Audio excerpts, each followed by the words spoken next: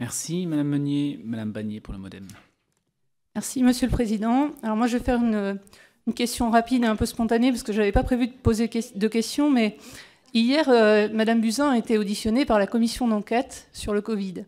Elle a été interrogée sur le spectacle des controverses médicales, des, experts qui défilent dans les médias avec chacun euh, leur vérité. Et euh, je voudrais savoir, on n'est pas vraiment dans la fausse information, mais on est dans la gestion de l'information euh, donnée par des, experts. Et comment vous gérez, vous, cette information Par exemple, il y a eu des, a pistes, le tocilizumab, l'artémisia en Afrique. Il y, a, énormément de pistes qui sont données. Comment vous gérez ça? Alors, je suppose avec la plus grande rigueur, mais j'aimerais vous entendre là Vallée, ah oui, les experts médicaux. Bah, notre médecin, du notre docteur, à nous, notre médecin, médecin du travail qui est chez nous hein, et qui était dans la cellule de crise, a été notre expert coulisses. Tout le temps, pour les journalistes, quand il y avait des papiers difficiles sur des médicaments, sur, euh, on entendait tout et n'importe quoi aussi sur les masques, euh, les masques qu'on fabriquait soi-même, etc. J'aurais presque envie de reprendre les papiers, d'ailleurs, qui sont restés sur les sites faits par nos journalistes, parce qu'ils sont remarquables. Moi, c'est à titre personnel, je lisais pour savoir ce que je devais faire.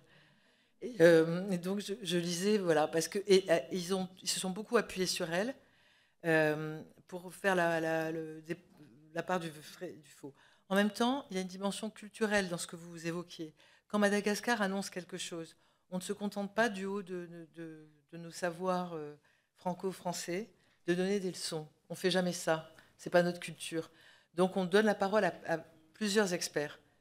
Euh, et, on essaye d'éclairer le débat pour que les citoyens euh, prennent leurs décisions.